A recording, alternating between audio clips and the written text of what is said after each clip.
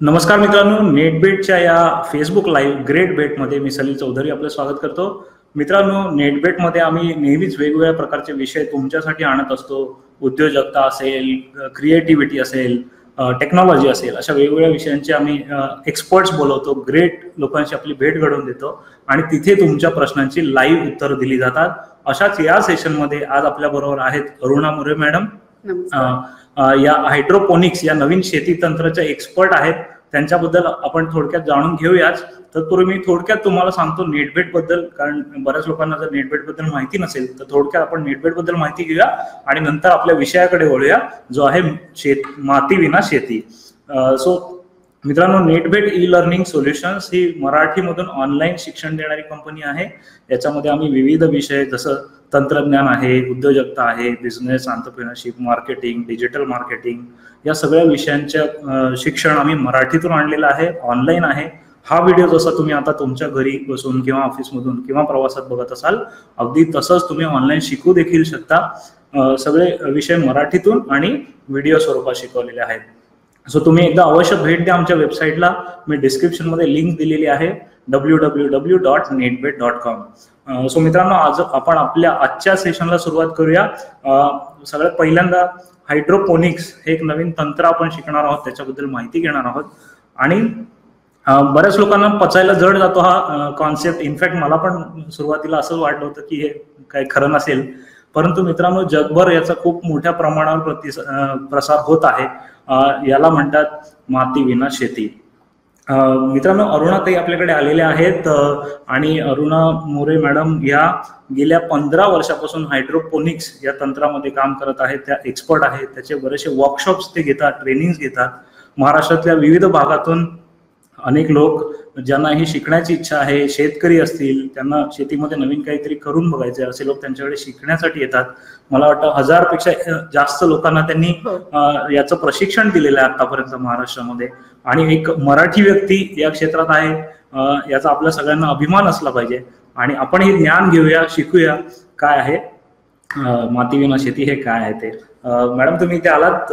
खूप खूप धन्यवाद. सर्वप्रथम तुम्ही नेटबेटच्या श्रोत्यांना सर्वप्रथम तुमच्याबद्दल सांगा की तुमचा एकंदर प्रवास कसा होता आणि मग नंतर आपण या तंत्राबद्दल बोलूच. मित्रांनो तोपर्यंत तुमचे काही प्रश्न असतील तर ते देखील इथे कमेंट्समध्ये विचारा. तुमच्या प्रश्नांना देखील आपण लाईव्ह उत्तर घेणार आहोत. तर सर्वप्रथम मी सलील सरांचे आभार मानेन की त्यांच्या माध्यमातून मला हजारो लोकांपर्यंत पोहोचायला मिळतं. याआधी देखील मला इतरांपर्यंत पोहोचण्यासाठी त्यांनी खूप छान मार्गदर्शन केलेलं आहे. आता माझ्या प्रवासाबद्दल सांगायचं म्हटलं तर मला मुळातच गार्डनिंगची खूप खूप खूप आवड होती. माझं निसर्गाशी नातं एक आगळं वेगळंच होतं. खरं तर मी आवर्जून सांगेन माझी आवड आणि माझ्या बाबांना म्हणजे इतकं माहीत होतं की माझं लग्न झाल्यानंतर त्यांनी मला पाच गुलाबाची रोपं आणून दिली की तुला आवडतात तू ही कुंडीत लाव म्हणजे हे मी आवर्जून सांगेन की इतकी मला निसर्गाबद्दलची झाडाची आवड होती. आणि लहानपणापासूनच माझं मन हे निसर्गात खूप रमत होतं. माझ्या घरी म्हणाल तर शंभर सव्वाशे झाडं तुम्हाला पाहायला मिळतील वेगवेगळ्या प्रकारच्या वनस्पती पाहायला मिळतील. या संदर्भात नवी मुंबई महानगरपालिकेकडून मला अनेक पुरस्कार मिळालेले आहेत. ते त्यांच्या कार्यक्रमामधनं इतरांना सांगतात की तुम्ही यांच्या घरी जा तुम्ही सिंगापूरला जाऊ नका. तुम्ही हाँगकाँगला जाऊ नका यांच्या घरी जा. कारण माझी गार्डनिंग करण्याची पद्धत ही खूप आगळी वेगळीच होती. आणि ती म्हणजे ही हायड्रोपोनिक्स टेक्निकनेच मी माझं गार्डन देखील डेव्हलप केलेलं होतं. आणि इतरांचे सुद्धा बऱ्याच ठिकाणी गार्डन्स मी त्या पद्धतीने डेव्हलप करून दिलेले आहेत. आणि अजूनही त्याबद्दल देखील मार्गदर्शन आणि माझं काम चालू असतंच. परंतु मी विचार केला की आपण दररोज जो आहार घेतो हा विषयुक्त आहार आहे. आणि फक्त आवड म्हणून चालणार नाहीये तर आपण जो आहार घेतो हा फार महत्त्वाचा आहे.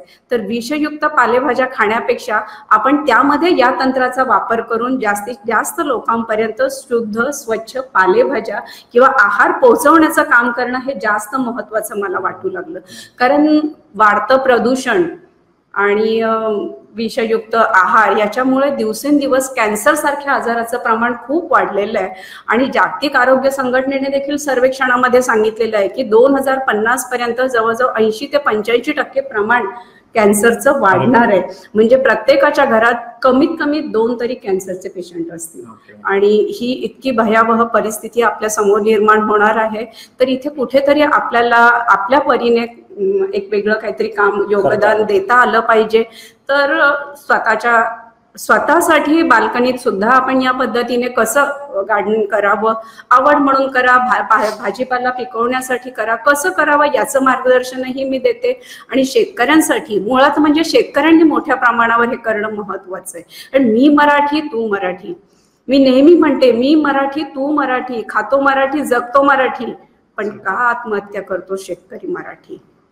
याची आपल्या मनाला खंत असली. पाहिजे. आणि ती माझ्या मनाला नक्कीच आहे. म्हणून मी शेतकऱ्यांसाठी तर फ्री सेमिनार देते. शेतकऱ्यांनी मोठ्या प्रमाणावर हायड्रोपोनिक तंत्राचा वापर करून शेती केली पाहिजे. तरच आपला देश टिकेल समृद्ध शेतकरी आणि समृद्ध भारत बनेल. सुपर ग्रेट सो मित्रांनो तुमचे जर कोणी शेतकरी मित्र असतील किंवा तुम्ही शेतकरी असाल तर लवकर ही लिंक त्यांना पाठवा या पेजची आणि त्यांना हे लाईव्ह बघू द्या. मॅडमनी जसं सांगितलं की ते बरेच सेमिनार शेतकऱ्यांसाठी घेत असतात त्यांना याचा जरूर फायदा होईल. मॅडम आम्हाला तुमच्या या प्रवासाबद्दल सांगा की तुम्हाला हायड्रोपोनिक्सची पहिल्यांदा ओळख कशी झाली?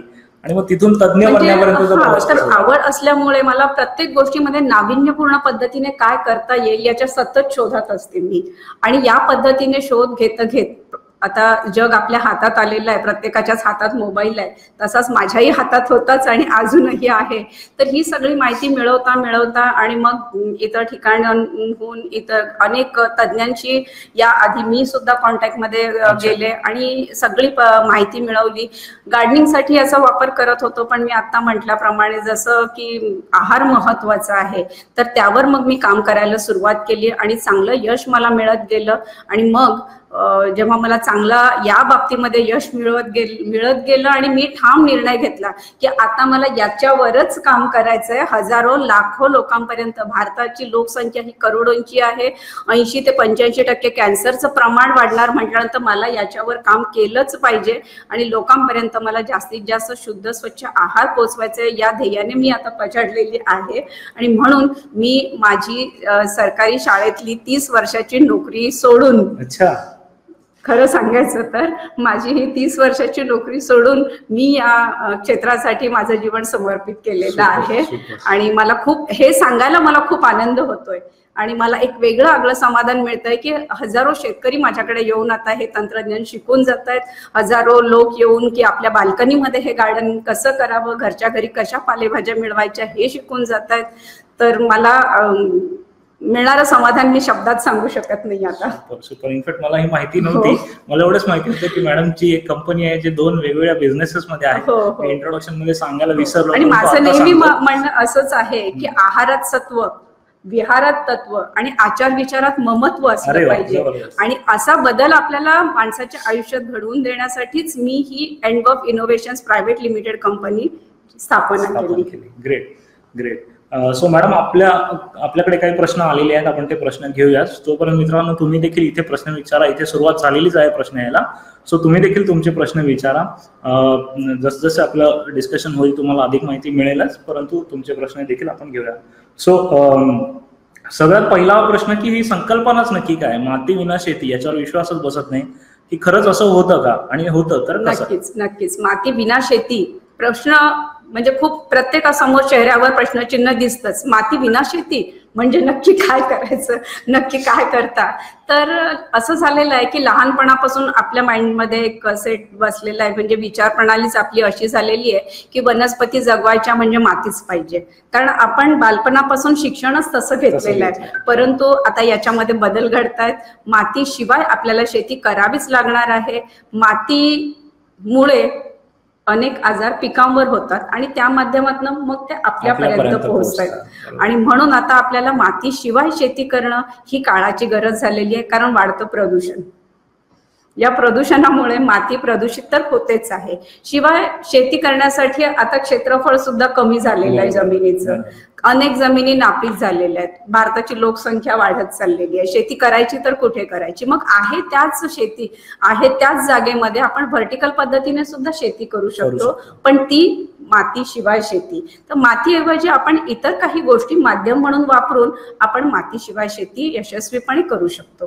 ग्रेट सो हे व्हर्टिकल शेतीबद्दल तुम्ही सांगालच परंतु तुम्हाला सोप्या शब्दात सांगतो मित्रांनो की जशी जागा कमी असते म्हणून मुंबई सारख्या शहरांमध्ये टॉवर उभे राहतात. की लोक एकाच्या वर एक राहायला सुरू केलं लोकांनी.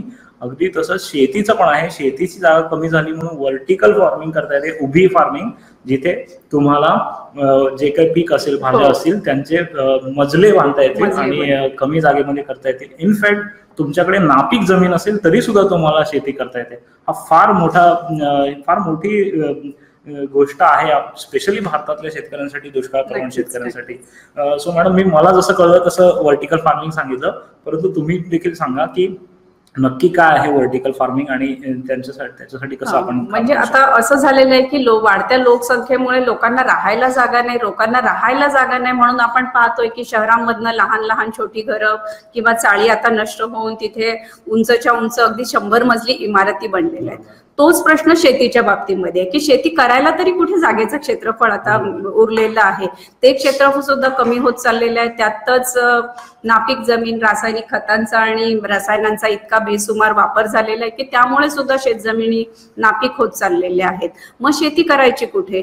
तर आहे त्याच जागेमध्ये आपल्याला मोठ्या प्रमाणावर शेती करणं आवश्यक आहे. कारण करोडोंच्या लोकसंख्येला आपल्याला अन्न पुरवठा करायचा आहे. मग छोट्याशा जागेत म्हणजे एक एकर शेती असेल तिथे तुम्ही पाच एकराचं उत्पन्न निश्चितपणे मिळवू शकता. अच्छा. जशा स्लॅब आपण राहण्यासाठी बांधलेले आहेत तेच स्लॅब उद्या आपल्याला शेतीसाठी बांधावे लागणार आहेत. आणि यशस्वीपणे असे फॅक्टरीज आपण म्हणूया की फार्मिंग फॅक्टरीज आपल्याकडे निर्माण होणार आहेत. अच्छा ग्रेट सो परदेशामध्ये असं काही आहे का? आहे, म्हणजे. संकल्पना नेमकी कुठून आली? म्हणजे आता हायड्रोफोनिक्स हे बेस म्हणजे इस्रायल टेक्निक आहे तसं. पाहिलं तर. परंतु इतर सगळ्या दाशा- देशांमध्ये आता याचा चांगला प्रसार झालेला आहे. इंग्लंड अमेरिकेसारख्या शहरांमधनं अशा फार्मिंग इंडस्ट्रीज निर्माण झालेल्या आहेत. आणि तसं जर आपण सर्वेक्षणात पाहिलं तर असं आढळून येतोय की आपला भारत देश जवळजवळ तीस ते पन्नास वर्ष आपण जगाच्या मागे आहोत. ऍटलिस्ट या बाबतीत ऍटलिस्ट. या बाबतीत परंतु जर या टेक्निकचा प्रसार आपल्याकडे लोकांनी लवकरात लवकर आत्मसात हे ज्ञान करून घेतलं आणि याचा प्रसार केला तर आपल्याला वेळ लागणार नाहीये भारताला पहिल्या क्रमांकावर यायला आणि आमचा प्रयास असाच आहे प्रयत्न असाच आहे की पुन्हा आपला भारत देश हा कृषीप्रधान देश म्हणून जगामध्ये पहिल्या क्रमांकावर ओळखला जावा. आज वाईट वाटतंय की इतर देशांमधनं आपला फळं भाज्या यांना बॅन करत चाललेल्या आहेत की विषयुक्त असल्यामुळे. तर ही स्थिती कायम राहणार नाहीये. ही लवकरच बदलणार आहे आणि आपला भारत देश आपल्या करोडोंच्या लोकसंख्येमुळेच निव्वळ. पुन्हा. पहिल्या क्षेत्रामध्ये आणि पहिल्या क्रमांकावर येणार आहे आणि समृद्ध भारत कॅन्सर मुक्त भारत नक्कीच होईल. नक्कीच नक्कीच. तो सोन्याचा दिवस लवकरच. लवकरच येईल. गुड सो मॅडम आता आपण हायड्रोपोनिक्स या विषयाकडे वळूया शब्द थोडा कठीण वाटतं हायड्रोपोनिक्स आपण सोप्या मराठीमध्ये मॅडम पुढे समजून घेऊया की नक्की तंत्रज्ञान काय आहे आणि त्याचा उपयोग नेमका कुठे नक्कीच. की हायड्रोपोनिक्स याचाच अर्थ असा आहे की हायड्रो म्हणजे पाणी आणि पोनिक्स म्हणजे कार्यरत. पाण्यावर कार्यरत असलेली ही प्रणाली. म्हणून त्याला नाव दिलेलं आहे हायड्रोपोनिक्स डॉक्टर विल्यम गेरिक यांनी याच्यावर प्रथम प्रयोग केला. त्यांना यश मिळालं आणि त्यांनी या कार्यप्रणालीला नाव दिलं हायड्रोपोनिक्स. अच्छा ओके. तर हायड्रोपोनिक्स या पद्धतीमध्ये आपण वनस्पतींना आवश्यक घटक पाण्यामार्फत पुरवतो आणि वनस्पतींचं संवर्धन करतो. या पद्धतीला आपण हायड्रोपोनिक्स पद्धत म्हणतो. अच्छा. पण मग यात माती निघून गेली तर म्हणजे मातीचं काम असतं झाडाला पोषण द्यायचं ते आता कसं होणार पाण्यामध्ये आता मातीमधनं जे घटक वनस्पती शोषून घेत आहेत. जी मूलद्रव्य वनस्पती शोषून घेत आहेत हीच मूलद्रव्य आपण त्यांना योग्य प्रमाणामध्ये पाण्यामार्फत देणार आहोत.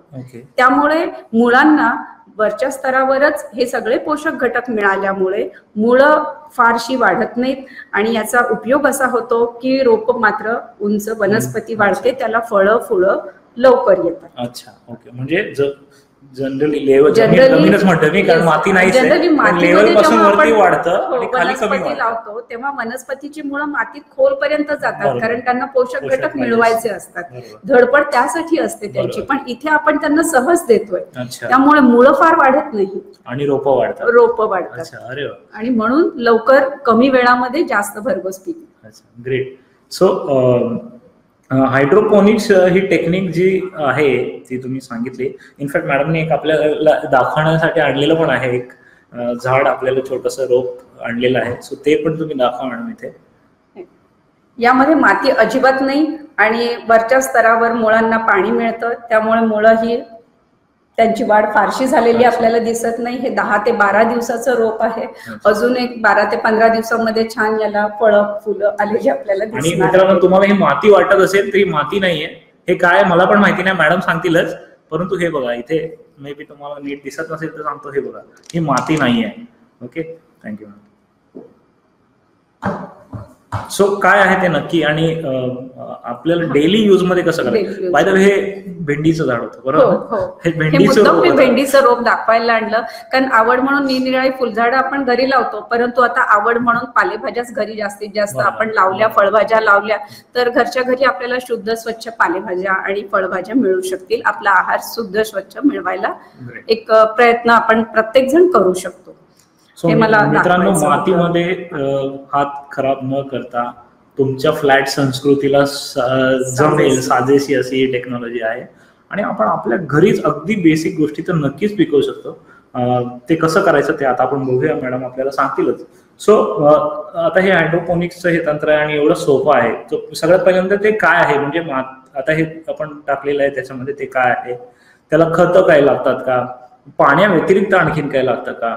किंवा पाणी द्यायचं तर कसं कधी किती वेळा? याबद्दल जरा मला खोलायचं हा. आता माती मध्ये शेती करायची हे तर सर्वांनाच माहीत आहे की पारंपरिक शेती आपण करतो. पारंपरिक शेतीचे परिणाम दुष्परिणाम हे सगळेच आता सगळ्यांना माहीत. झालेले आहेत. आणि म्हणून आता आपल्याला वेगळ्या शेती तंत्र हे वेगळं आधुनिक तंत्र शिकून घेणं आवश्यक आहे. आणि हे आधुनिक तंत्र म्हणजेच हायड्रोपोनिक्स. हायड्रोपोनिक्सचा अर्थ मी तुम्हाला आत्ताच सांगितला की आपण वनस्पतींना आवश्यक घटक पाण्यामार्फत देणार आहोत. त्याच्यावर या वनस्पतींचं संवर्धन करणार आहोत. मग इथे माती वापरायचीच नाही म्हणजे नक्की काय करायचं? हा प्रश्न सगळ्यांच्या मनात असतो. तर यामध्ये अनेक वेगवेगळ्या पद्धती आहेत. आपण फक्त पाण्यावर ही शेती करू शकतो म्हणूनच तर त्याला नाव दिलेलं आहे. हायड्रोपोनिक्स. परंतु या हायड्रोपोनिक्समध्ये मुख्य दोन पद्धती आहेत पॅसिव्ह पद्धत आणि ऍक्टिव्ह पद्धत. तर आपण कोणतं पीक घेणार आणि ते मग आपल्याला कोणत्या पद्धतीनुसार घ्यावं लागणार हे अगोदर निश्चित झालं पाहिजे. आणि मग त्या पद्धतीनुसार आपण ते कसं घ्यायचं हे आपल्याला ठरवावं लागतं. मग पालेभाज्यांसाठी आपण फक्त पाण्यावर या पालेभाज्या वाढवू शकतो. त्याचप्रमाणे हे जी काही उंच वाढणारी झाडं असतील फळं म्हणजे फळांची झाडं असतील याच्यासाठी आपण मातीऐवजी इतर काही वस्तू इतर काही गोष्टी माध्यम म्हणून वापरू शकतो. जसं या ठिकाणी हे जे तुम्हाला गोल असे दगड किंवा काही दिसतंय याला हायड्रोटोन्स म्हणतात किंवा क्ले बॉल्स म्हणतात हे मातीपासूनच तयार केलेले असतात परंतु पंधरा वीस वर्ष हे असेच राहतात. एका वनस्पती म्हणजे एका कुंडीत जर तुम्ही हे ठेवून आणि रोप लावलेलं असेल कदाचित काळा नंतर तुम्हाला असं वाटलं की नाही मला आता दुसऱ्या रोपासाठी हे वापरायचंय तुम्ही ते धुवून स्वच्छ धुवून पुन्हा वापरू शकता. म्हणजे तीच ती वस्तू आपल्याला पुन्हा पुन्हा वापरता येते. मातीचं तसं नाही. मातीमध्ये आपण जेव्हा कुंडीत झाड लावतो तेव्हा सहा महिन्यातनं एकदा माती बदलावी लागते. परंतु आपण तेही श्रम घेत नाही. आणि दोष देतो फुलं येत नाहीत आणि फळं येत. नाहीत. म्हणजे शेवटी आपल्याला सवयच आहे दुसऱ्याकडे बोटं दाखवण्याची. तर जसे हे हायड्रोटोन आहे त्याचप्रमाणे आपण स्पंजचा सुद्धा वापर करू शकतो. वर्मिक्युलेट आहे कोकोपीट आहे परंतु हे सगळं कोणत्या वनस्पतीसाठी काय वापरायचं हे अगोदर आपल्याला समजून घ्यावं लागतं. ओके. सो समजा आता घरगुती करायचं सो काही पालेभाज्या लावायच्या तर त्याच्यासाठी काय असलं पाहिजे? आता पालेभाज्या सुद्धा आपण कोणतीही पद्धत वापरू शकता. ऍक्टिव्ह पद्धत पण वापरू शकतो आणि हायड्रोपोनिकची पॅसिव्ह पद्धत पण वापरू शकतो. हायड्रोपोनिकची ऍक्टिव्ह पद्धत वापरायचं म्हटलं तर आपण फक्त पाण्यावर पालेभाज्या वाढवू शकतो. मग त्याच्यामध्ये आपल्याला N F T system DFT system असे वेगवेगळे प्रकार आहेत त्यांचा वापर करता येईल आणि जर पॅसिव्ह सिस्टमने आपल्याला या पालेभाज्या फळभाज्या वाढवायच्या असतील तर आपण हायड्रोटोन्स कोकोपीट किंवा वर्मिक्युलेट यासारख्या एखाद्या वस्तूचा आपण माध्यम म्हणून उपयोग. करू शकतो सो ह्या गोष्टी काय फार महाग नाही आहेत in fact easily available easily available आणि मेंटेनन्स फ्री आहे. त्याला फार जास्त एकदा तुम्ही वापरलं की पुन्हा त्याला नव्याने हात लावायची गरज नाहीये. सो हे याला काय म्हणतात? हायड्रोस्टोन हायड्रोटोन हायड्रोटोन ओके सो हे हायड्रोटोन सतत बदलायला लागतात की एकदा त्या कोंडीमध्ये टाकले. की मग बरेच वर्ष वापरू. बरेच वर्ष म्हणजे समजा एखादा आता जसं मी आज तुम्हाला भेंडीचं रोप दाखवलं. याचा आता जीवन कालावधी असेल काय चार एक महिन्यांचा पण याच्यानंतर तुम्हाला वाटेल हे हायड्रोटोन्स मी फेकून देऊ का अजिबात नाही नंतर तुम्ही दुसऱ्या रोपासाठी ते वापरा. स्वच्छ धुवा आणि वापरा तर याच्यासाठी तुम्ही मातीऐवजी जे काही प्रत्येक वस्तू वापरणार कोकोपीट असेल हायड्रोटोन असतील वर्मिक्युलेट असतील ही प्रत्येक वस्तू तुम्ही पुन्हा पुन्हा वापरू शकता. फक्त एका रोपातनं दुसऱ्या रोपासाठी वापरताना आपल्याला ती स्वच्छ करून घ्यायची आहे. म्हणजे वापरलं आणि फेकून दिलं असं अजिबात नाही. अच्छा. त्यामुळे मातीशिवाय शेती करणं हे अतिशय सोपं आहे आणि स्वस्त आहे. हे मी. आवर्जून सांगेन. हा हा एक गैरसमज आहेच आणि हो. इनफॅक्ट माझे प्रश्न पण होता पण आता तुम्ही तो मुद्दा काढलाच आहे. सो एकंदरीत हायड्रोपोनिक खर्चिक आहे. जे काही इंटरनेटवर वाचलं जातं त्यात पहिली गोष्ट हे येते. आणि बरेच दिवस मी पण हे समजत होतो. सो याबद्दल जरा मार्गदर्शन करा आम्हाला की घरगुती आणि ऍक्च्युअल शेतीमध्ये काम करत असताना दोन्ही ठिकाणी जर हायड्रोपोनिक्स वापरलं तर ते खरंच खर्चिक असतं असतं का? असतं तर किती खर्चिक बरोबर. तर मुळात म्हणजे असं झालेलं आहे. प्रत्येकाचा माइंडसेट असा बनलाय की हायड्रोफोनिक्स म्हटल्यानंतर खर्चिक.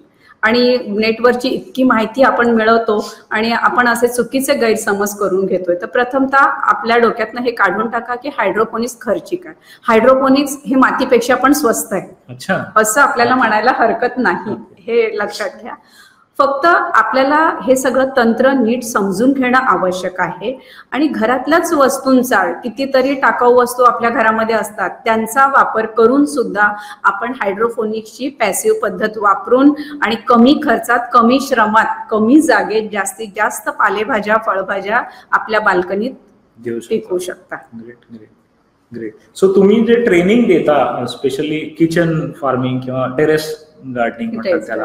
सो त्याचं स्वरूप काय असतं आणि त्याच्यामध्ये तुम्ही नक्की काय शिकवता? आणि कि- किती प्रॅक्टिकल शिकवता? गृहिणींना महिलांना?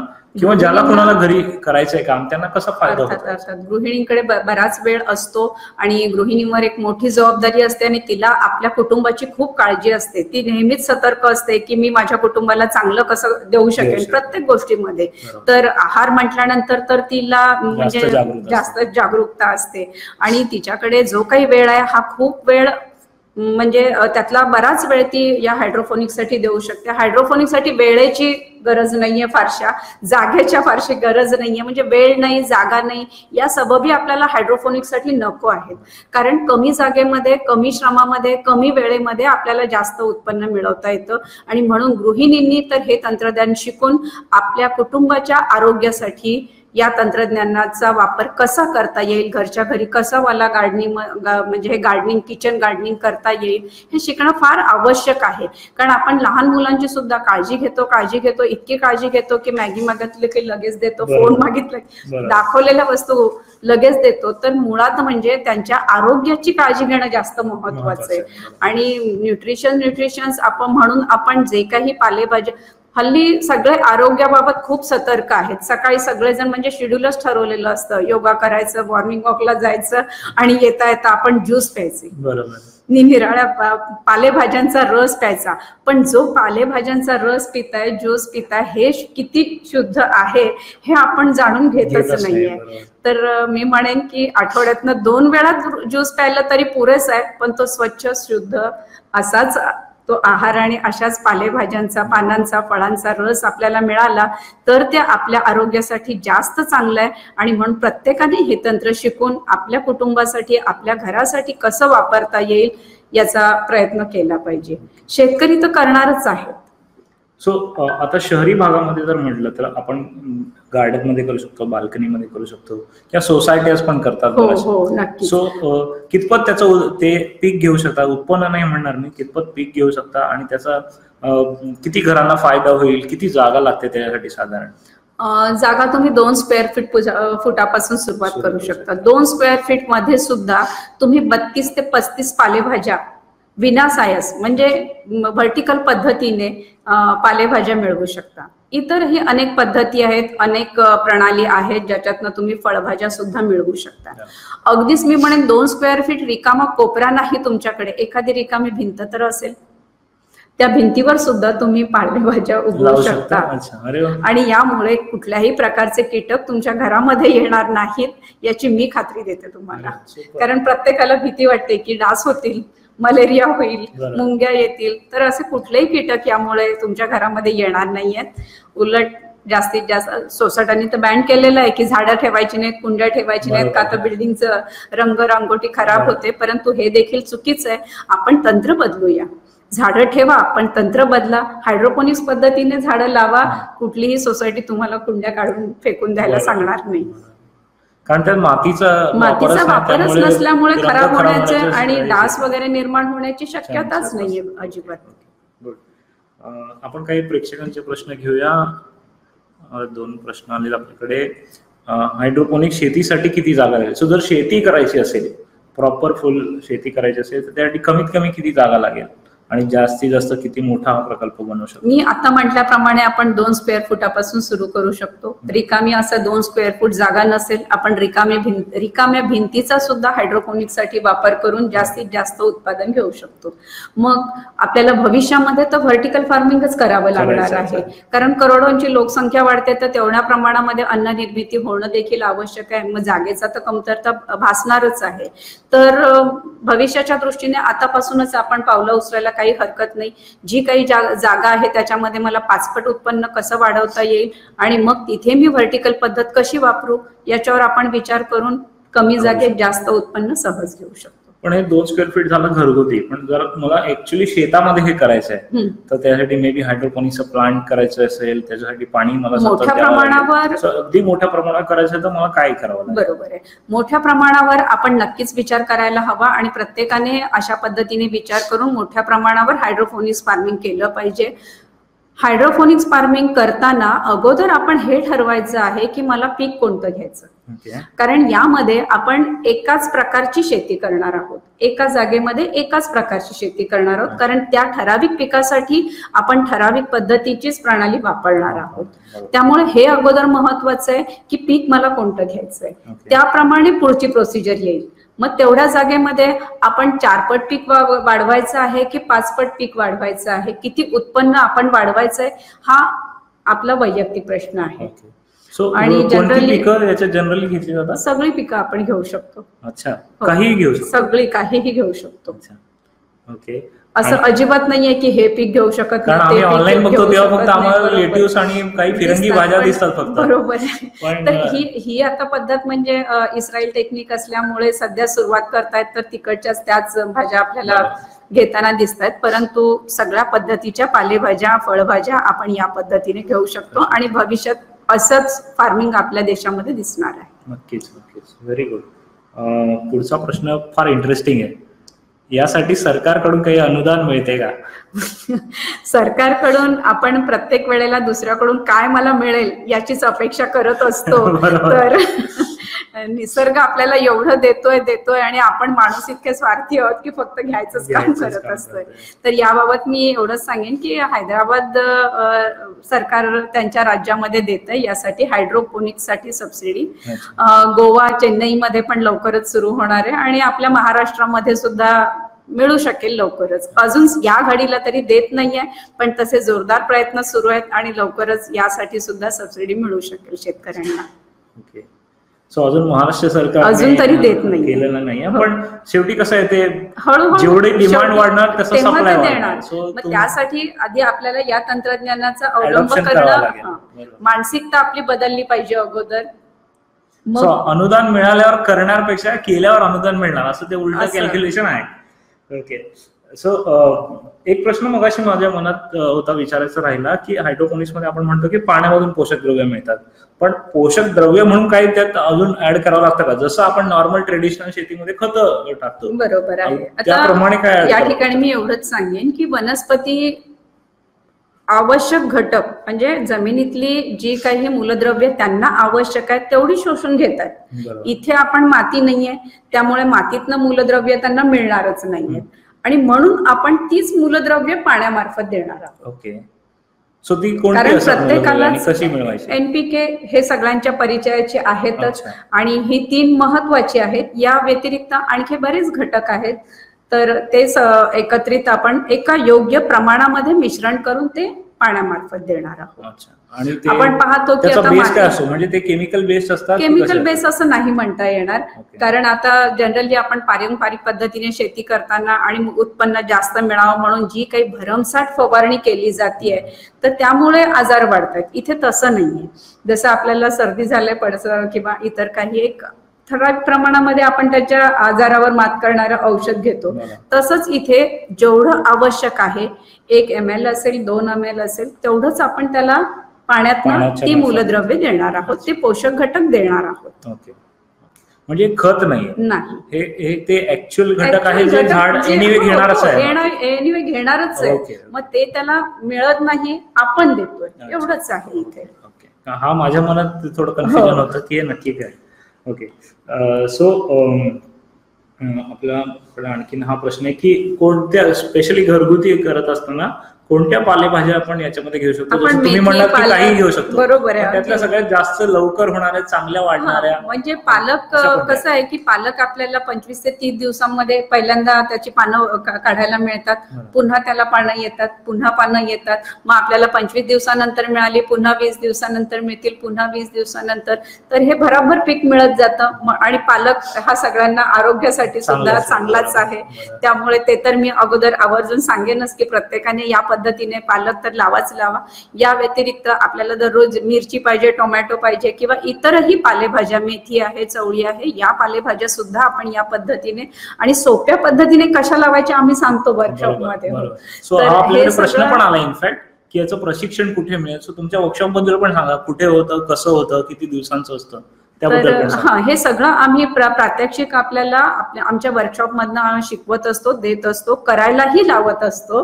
तर हे आमचं वर्कशॉप नवी मुंबईमध्ये वारंवार महिन्यातनं एकदा तर होतच होतं आता या जुलै महिन्यामध्ये सत्तावीस तारखेला वडाळा येथे चंचल स्मृतीमध्ये आमचं वन डे वर्कशॉप आहे दहा ते सहा अशी या वर्कशॉपची वेळ असते आणि पूर्ण दिवसामध्ये आम्ही सगळं नॉलेज तुम्हाला हायड्रोफोनिक ॲक्वाफोनिक एरोफोनिक बद्दलचं देतो शिवाय त्याचा यामध्ये कोणत्या भाज्या कशा लावायच्या आणि प्रॅक्टिकल कसं सगळं तुम्हाला डेमो दाखवलं जातं. प्रॅक्टिकली करून घेतो करून घेतो.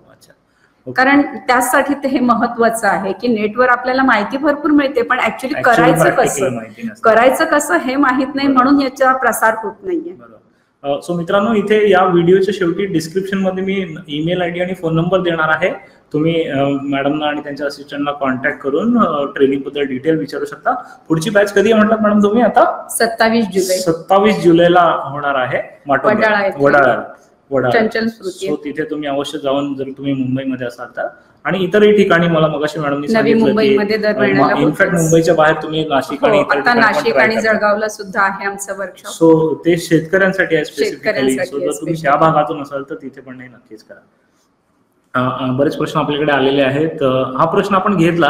कोणते बेसिक व्हेजिटेबल्स आपण लावू शकतो? जसं मॅडमनी सांगितलं पालक आणि इतर जनरली पालेभाजी आपण याच्यामध्ये आपण घेऊ शकतो. आणि जर तुम्ही मोठ्या प्रमाणात करत असाल ऍक्च्युली शेतामध्ये करत असाल तर तुम्ही कोणतेही पीक घेऊ शकता. फक्त एकच पीक एकच. प्रकारचं पीक घ्यायचं. मॅडम मगाशी तुम्ही बोलताना आपल्याला आणखीन दोन पद्धती सांगितल्या ज्या आपण मगाशी सांगितल्या नंतर श्रोत्यांना अक्वापॉनिक्स आणि एरोपॉनिक्स. सो हायड्रो अक्वा आणि एरो असे तीन. प्रकार आहेत.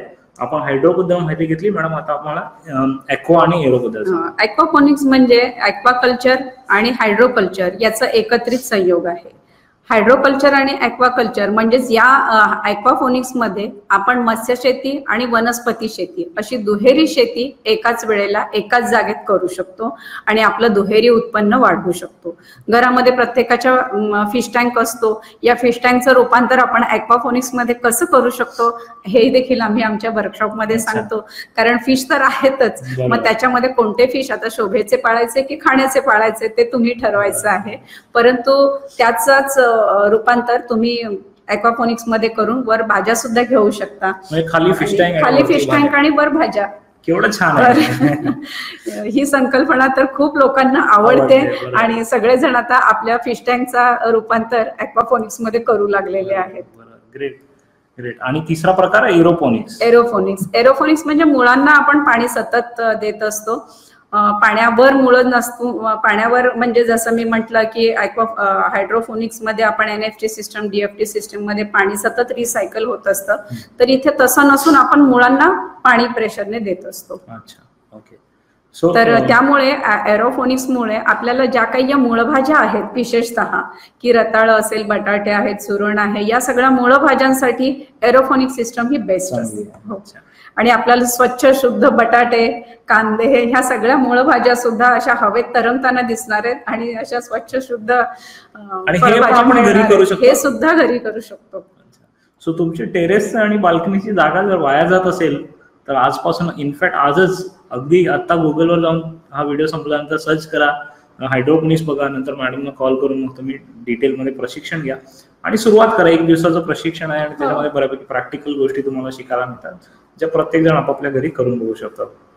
हा आणखीन प्रश्न आहे आपल्याकडे. मॅडम तुमचं सेशन पुण्यामध्ये होणार आहे का? पुण्यामध्ये बऱ्याच जणांची मागणी आहे. लवकरच पुण्याच्या भेटीला येण्याचा आमचा विचार चालू आहे. इनफॅक्ट हे हा इंटरव्ह्यू सुरू व्हायच्या आधी आम्ही त्याबद्दलच बोललो. आणि आता डिस्कशन चालू आहेत. कदाचित नेटभेट आणि अरुणा मॅडम आम्ही दोघे मिळूनच. ट्रेनिंग तुमच्यासाठी पुण्यामध्ये अरेंज करू. नक्कीच. आणखीन प्रश्न घेऊया आपण.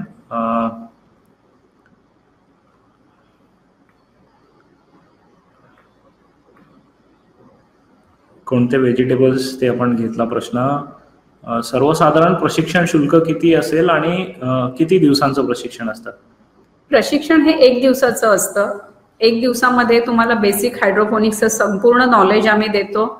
ॲक्वाफोनिक्स एरोफोनिक्स पद्धत म्हणजे काय आणि ती कशी वापर आपल्या घरासाठी किंवा मोठ्या प्रमाणावर फार्मिंग करताना सुद्धा कशी वापरायची हे आम्ही सांगितलं जातं.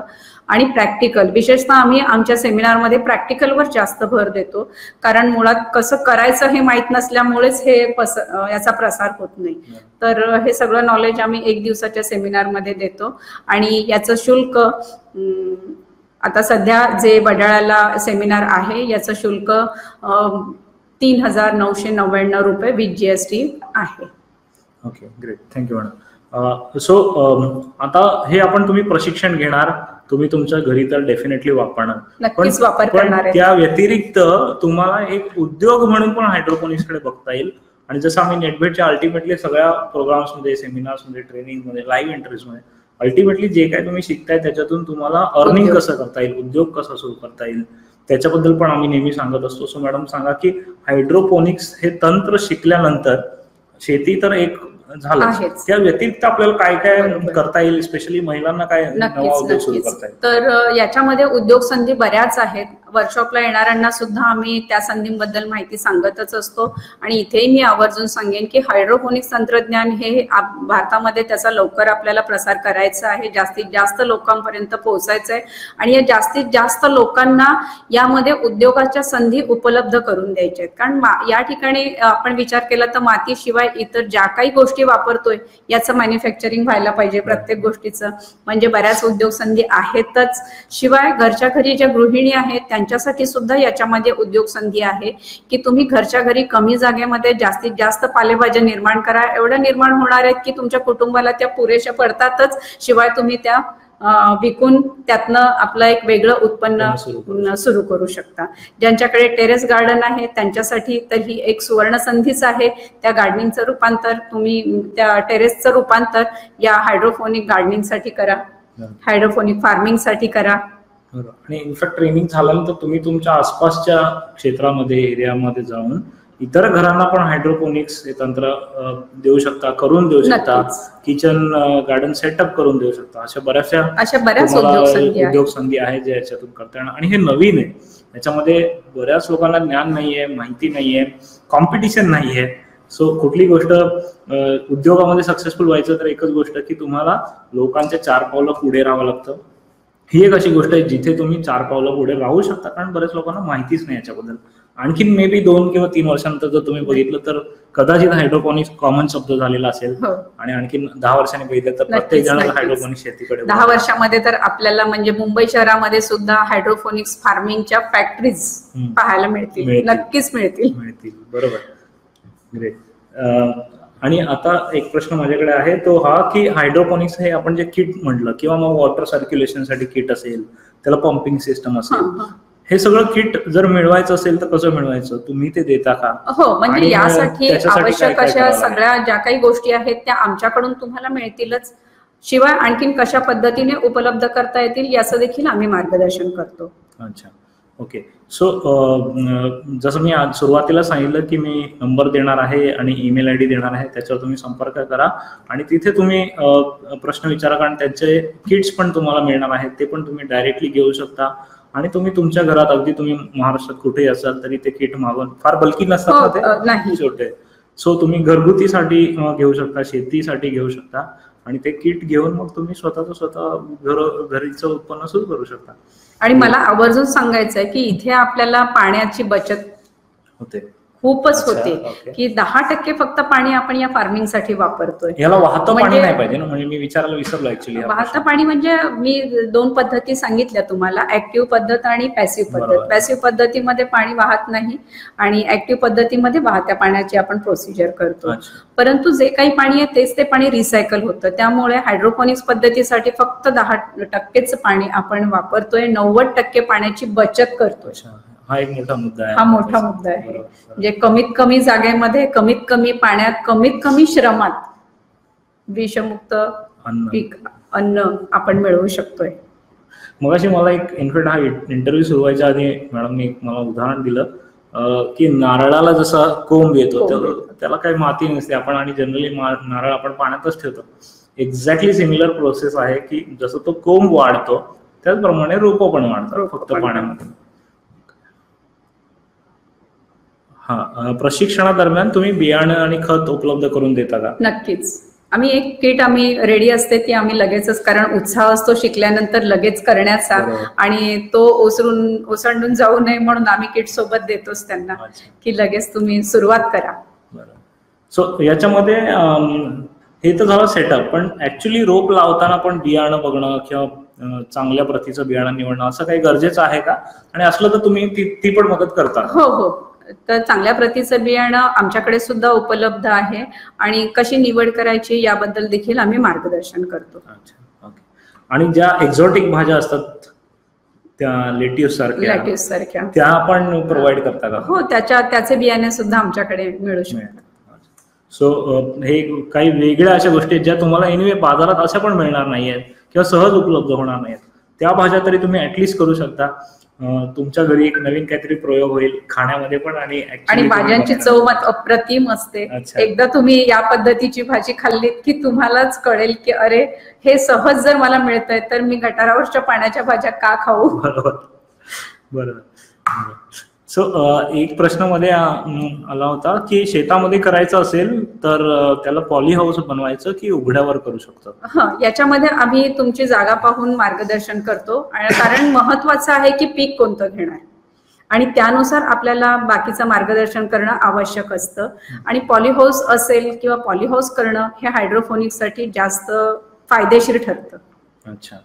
आणखीन एक आय थिंक हा सिमिलर प्रश्न आहे की डायरेक्ट सनलाईटची आवश्यकता असते का? डायरेक्ट सनलाईट असायलाच पाहिजे गरज नाहीये. अच्छा.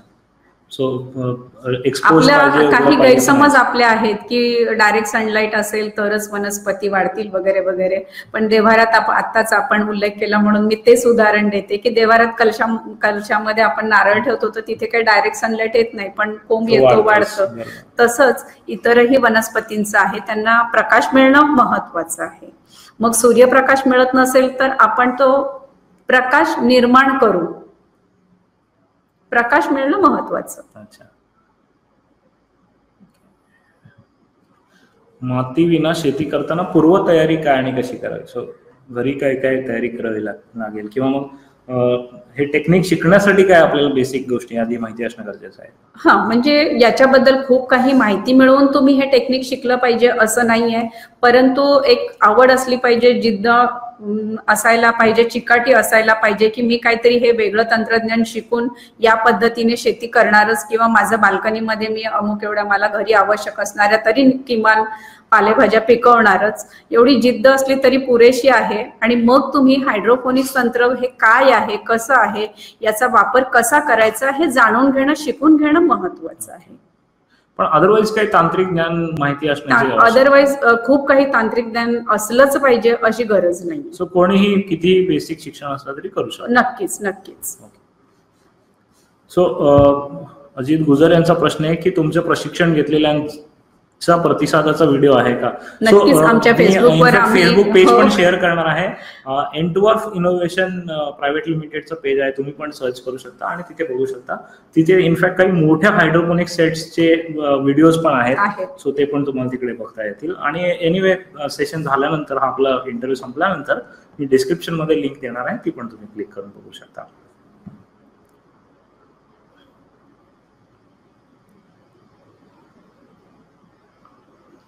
ठीक आहे आय थिंक प्रश्न झालेले आहेत. माझ्याकडेच पण प्रश्न झालेले आहेत आणि प्रेक्षकांना विनंती की तुमच्याकडे आणखीन काही प्रश्न असतील तर विचारा. पुढील पाच मिनिटामध्ये आपण हा सेशन संपवतोय. सो तुमच्याकडचे प्रश्न तयार ठेवा. एक प्रश्न माझ्याकडे होता की आता जे आपण शेतीमध्ये वेगवेगळे प्रकार म्हणतो जसं सेंद्रिय शेती आली नैसर्गिक शेती आली त्याच्यामध्ये आणि याच्यामध्ये कितपत फरक खूप फरक आहे. कारण सेंद्रिय शेती म्हणा किंवा नैसर्गिक शेती पारंपरिक शेती ह्या सगळा बेस मातीवर आहे. आणि हायड्रोफोनिक्स हे पूर्णपणे वेगळं आहे. याच्यामध्ये मातीची गरजच नाहीये. माती आपण वापरतच नाही माती शिवाय शेती करतोय. आणि उत्पादनामध्ये किती फरक असतो? उत्पादनामध्ये आता जर पारंपरिक शेतीमध्ये जर आपण टोमॅटोची शेती करत असू एक एकरामध्ये तर दोनशे टन टोमॅटो मिळतील म्हणजे उत्पादन मिळेल. परंतु तेच हायड्रोपोनिक्स पद्धतीने आपल्याला दोन साधारणपणे दोनशे ते तीनशे टन म्हणजे तिप्पट. इतकं इतकं उत्पादन वेस्टेज निघून जाते. वेस्टेज. निघून जाते. आणि जर दहा टन आणि दोनशे टन याच्यामध्ये किती फरक आहे फरक आहे बरोबर आणि मोठ्या प्रमाणात जर हे शेतामध्ये करायचं असेल तर मग पर एकर कॉस्ट अंदाजे जर सेटअपची कॉस्ट पिकाची नाही पण हायड्रोपोनिक जर पंप वगैरे लावून पाईप सर्क्युलेट करून मोठ्या प्रमाणात करायचं असेल तर साधारण एकरी काय? साधारण एकरी आता मी मगाशी म्हटल्याप्रमाणे आपण पीक कोणतं घेणार त्यानुसार सगळा सेटअप असेल पण जनरली आपण पाचशे रुपये स्क्वेअर फीट प्रमाणे रेट पकडून कॅल्क्युलेशन करायला काही हरकत नाही. अच्छा ओके बेसिक जरी म्हटलं सेटअप तरी. आणि but it is one time cost कारण वन टाइम इन्व्हेस्टमेंट आहे. वन टाइम इन्व्हेस्टमेंट आहे. आणि जी काही इन्व्हेस्टमेंट कराल तुम्हाला ती सगळी इन्व्हेस्टमेंट तुमची दीड ते दोन वर्षामध्ये कव्हर करता येते. आणि खात्रीशीर उत्पन्न मिळतंय. मोठ्या प्रमाणावर फार्मिंग तुम्ही या पद्धतीने करताना. पारंपरिक पद्धतीने आपण पावसावर अवलंबून राहतो आणि किती काय त्यातनं मिळेल कोणाच्याच हातात नाही ते. परंतु इथे खात्रीशीर उत्पादन आहे. सो बरेच जण इनफॅक्ट मला माझ्या ट्रेनिंगमध्ये पण बरेच जण असं येतात भेटायला.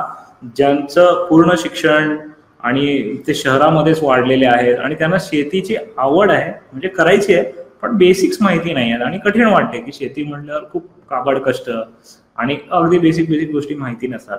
अशा लोकांसाठी तर मला वाटतं हे वरदानच वरदानच आहे आणि शहरी शहरी शेतीचं प्रमाण सुद्धा आता खूप वाढणार वाढू शकतं. सो एक एक फूडला एक फॅक्टरी म्हणून बघितलं पाहिजे आपण. जिथे प्रोडक्शन म्हणून मी नाही शब्द मगासपासून वापरतोय जिथे आपण जे पीक घेतोय त्याला प्रोडक्शन म्हणून बघितलं. आणि त्याचं मल्टिपल टर्न्स घेत गेलो तर त्याला तर तुम्ही एक तुम्ही शेतकरी. नाही तुम्ही एक बिझनेसमन व्हाल. फार्मिंग इंडस्ट्रीज निर्माण होणारच आहेत लवकर आपल्याकडे. हा फार मोठा आणि जसं मॅडमनी सांगितलं हा मानसिक बदल आहे. बेसिकली हा तुम्ही ऍक्च्युअली जेव्हा करणार त्याच्यापेक्षा तुमच्या मनामध्ये ही उडी तुम्हाला घेतली पाहिजे की मी हे काहीतरी नाविन्य पूर्ण करतोय. इस्रायल या देशाने आपल्यासमोर हे उदाहरण ठेवलेलं आहे आणि जगभरात ते वापरलेले जात आहे. सो आपल्याकडे प्रश्न आलेत का बघूया? आणखीन काही प्रश्न आलेत आपल्याकडे. सध्या विक्रीस उपलब्ध असणारी ऑक्सिजन देणारी रोपे यात घेता येतात का?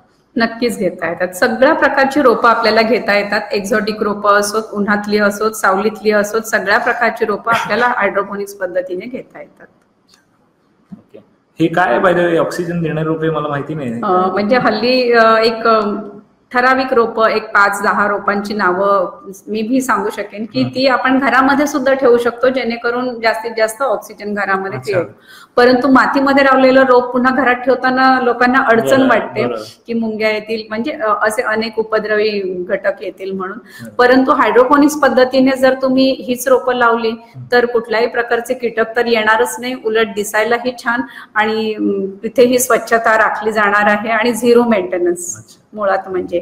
कालांतराने आपल्याला हे पोडियम गार्डन सुद्धा हायड्रोपोनिक्स पद्धतीनेच बनवावे लागणार आहेत. बाल्कनी गार्डन तर होईलच होईल. पण मोठमोठे पोडियम गार्डन सुद्धा हायड्रोपोनिक्स टेक्निकनेच बनवावे लागणार आहेत.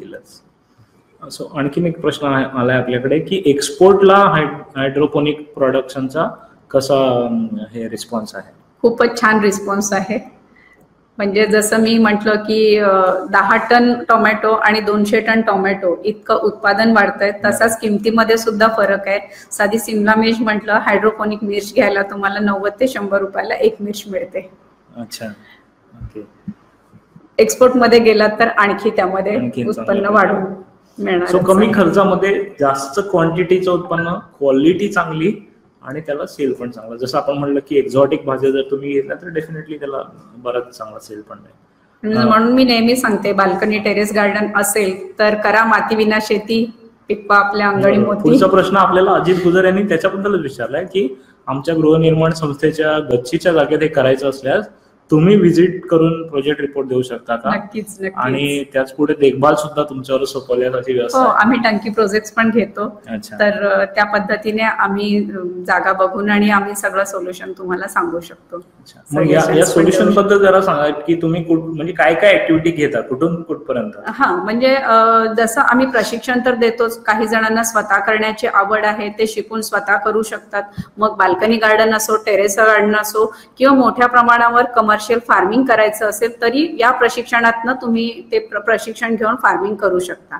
प्रशिक्षण हा एक भाग झाला ज्या- ज्याच्यामुळे आम्ही लोकांना हे सगळं तंत्रज्ञान शिकवतोय.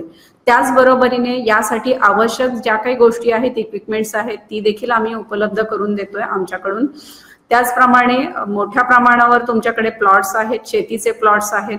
तर तुम्हाला शेती करायला वेळ नसेल किंवा तुम्हाला आमच्याकडून हायड्रोफोनिक्स पद्धतीने सेटअप करून हवा असेल तर असे टंकी प्रोजेक्ट्स पण आम्ही घेतो. आणि पूर्ण पद्धतीने आम्ही ते डेव्हलपमेंट करून आणि वर्षभराचं मेंटेनन्स आम्ही त्यामध्ये तुम्हाला देतो. सो तुमचा मॅन्युफॅक्चरिंग प्लांट तुम्हाला आउटसोर्स पण करता येईल. मॅन्युफॅक्चरिंग प्लांट सेटअप करण्यापासून सगळं फायनल प्रॉडक्ट घेईपर्यंत एन टू ऑफ इनोव्हेशन तुम्हाला मदत करते. एक शेवटचा प्रश्न घेऊया मॅडम आपण. रविवार अथवा सुट्टीच्या दिवशी तुमचं प्रशिक्षण असतं का? नक्कीच.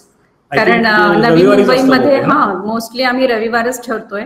आणि आता जे वडाळाला आहे ते शनिवारीच आहे. अच्छा ओके सो तर विकेंड्सनाच आम्ही मुद्दाम घेतो आणि शक्यतो सुट्टीचा दिवसच ठरवतो जेणेकरून लोकांना येणं आणि शिक्षण प्रशिक्षण घेणं सोयीचं जावं ग्रेट सो मित्रांनो धन्यवाद. तुम्ही हा फेसबुक लाईव्ह बघायला आला. मला खात्री आहे माझ्याप्रमाणेच तुम्हाला बऱ्याच नव्या गोष्टी शिकायला मिळाल्या असतील. हायड्रोपोनिक्स किंवा मातीविना शेती हे शब्दच पचायला जड जात होते. परंतु आता मॅडमनी तासभरामध्ये आपल्याला जे काय एक्सप्लेन केलं त्याच्यावरून कळायला लागलं की हे सोपं आहे चांगलं आहे गरजेचं आहे. आणि हे भविष्य आहे हे पुढे जाणार आहे. So, हायड्रोफोनिक्स तंत्रज्ञान शेतकऱ्यांसाठी वरदान आहे. वरदानच आहे आणि यातनच समृद्ध शेतकरी समृद्ध भारत कॅन्सरमुक्त भारत निर्माण होणारच आहे. एक इस्रायलचं जर तुम्ही बघितलं तर एवढासा देश आहे आणि तो जगभर शेतीसाठी प्रसिद्ध आहे. शेती हा त्यांचा सगळ्यात मोठा कणा मानला जातो. आणि अगदी ओसाड जमिनीवर इस्रायलची सुरुवात झालेली आणि त्यांनी त्याचं स्वर्गामध्ये रूपांतर केलेलं आहे. ती तंत्रज्ञान ती टेक्नॉलॉजी आज आपल्याला मिळालेली आहे. त्यांनी केलेल्या एक्सपेरिमेंटचा आपल्याला फायदा मिळतोय. सो जरूर आपण हे शिकून घेतलं पाहिजे आणि इम्प्लिमेंट केलं पाहिजे वापरलं पाहिजे. घरोघरी जेव्हा हे वापरलं जाईल तेव्हा याचा चांगला प्रसार होईल आणि अल्टिमेटली ते आपल्या हेल्थसाठी आपल्या आयुष्यावर परिणाम करणारी गोष्ट आहे. आणि म्हणून हे फार महत्त्वाचे आहे. मॅडम तुम्ही आज इथे आलात. आम्हाला खूप महत्वाची माहिती दिली मला खात्री आहे बऱ्याच नेटबेटच्या प्रेक्षकांना याचा फायदा होईल. त्यांच्या. उद्योगामध्ये त्यांच्या जीवनामध्ये त्यांच्या शेतीमध्ये वेगवेगळ्या ठिकाणी त्यांना याचा फायदा होईल. आणि डेफिनेटली जसं मी इथे नंबर देतोच आहे तुम्हाला सो तुम्हाला संपर्क करतीलच आणि त्यांना तुम्ही पूर्ण मी ही सलील चौधरी आणि नेटभेटची खूप खूप आभारी आहे की यांच्या माध्यमातून मला हजारो लोकांपर्यंत नेहमीच पोहोचण्याची संधी ते उपलब्ध करून देत असतात. आणि मी सगळ्यांसाठी एक संदेश नक्कीच देऊ पाहिन की हायड्रोपोनिक्सची कास धरा आणि आरोग्य संपन्न दीर्घायुष्य जगा. Great thank you thank you madam Thank तुम्ही इथे आलात नमस्कार थँक्यू मित्रांनो तुम्ही हा व्हिडिओ बघितलात thank you and all the best bye